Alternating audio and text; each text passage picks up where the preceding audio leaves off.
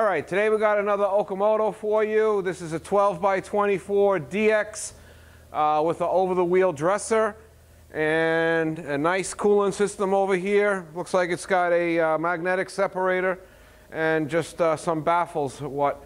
Uh, so this has a 12-inch uh, by 24-inch chuck and takes, I'm pretty sure, a 14-inch diameter wheel.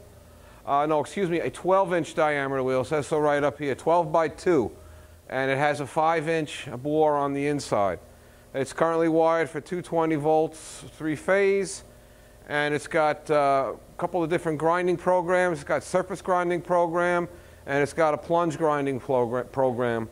Excuse me. And um, you have spark out or, or stroke counter. Uh, after you get done grinding, it'll make so many empty passes and then uh, park.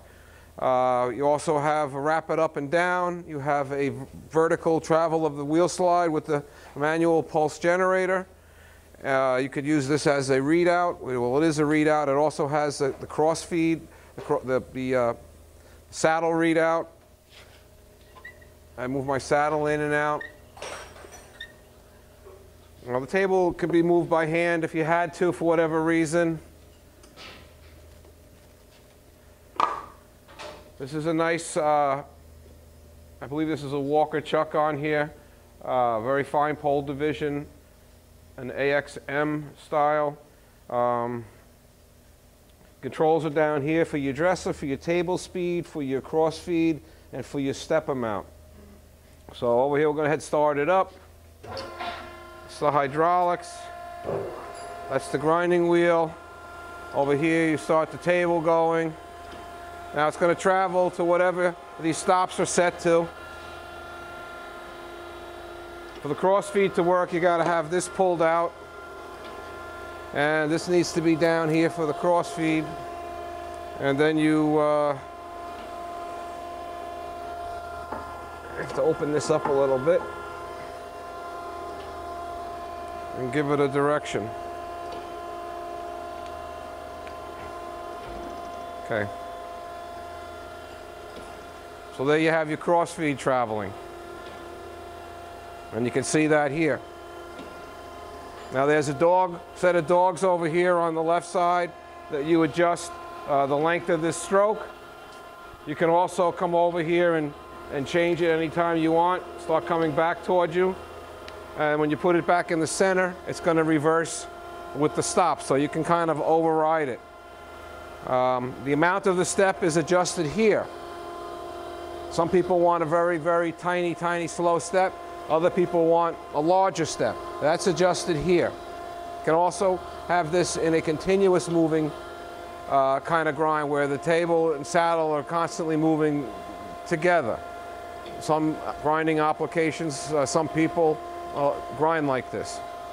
Or you can shut the cross feed off by putting it right here in the center.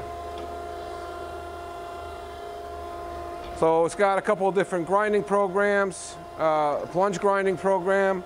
Once I go from the surface grinding to the plunge, it immediately stops the table, the saddle.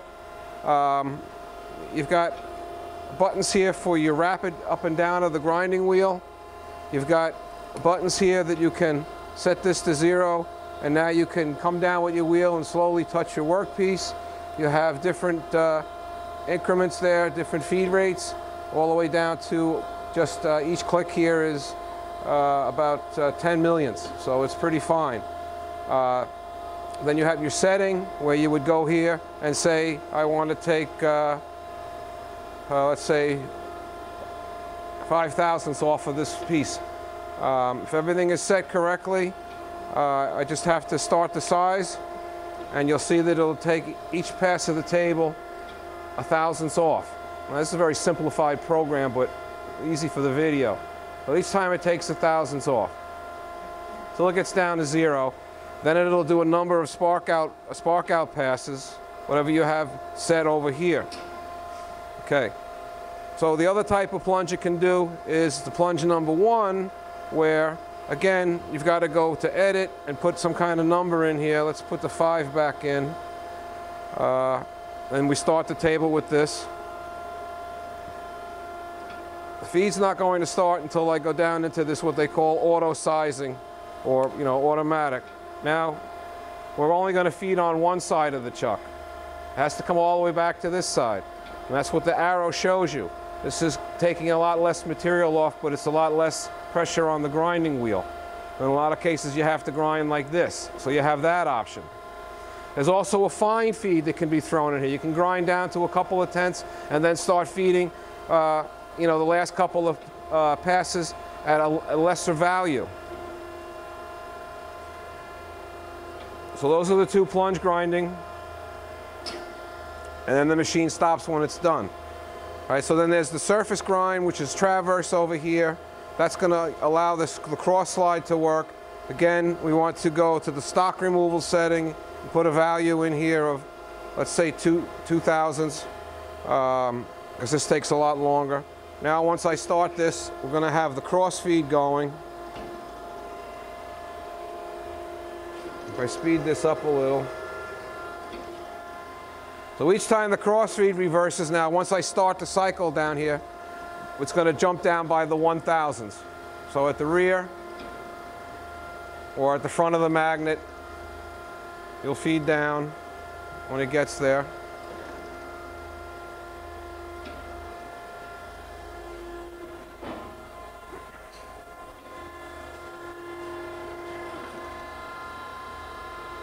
It's a nice machine. This is the original paint.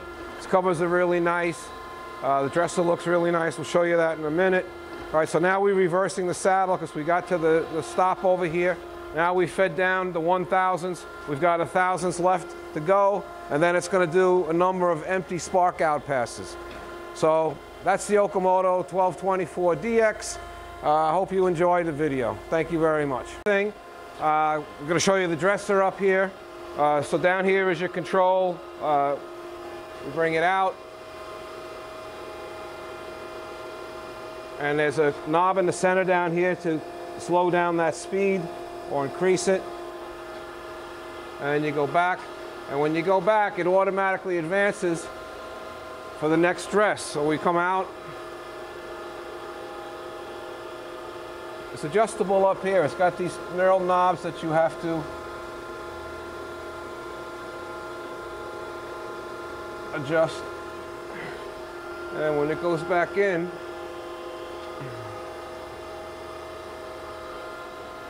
it'll advance the diamond. And you can set that to be one, two, three. You have to see what it actually does, but so that's the idea of that. That works pretty nice. So that's it. That's everything. Thank you very much.